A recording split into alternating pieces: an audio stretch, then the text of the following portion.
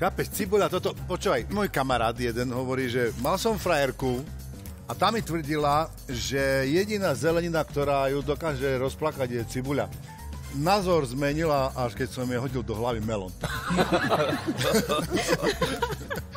Takže pestuje buď cibuľa, alebo melóny nám to pekne vyšlo.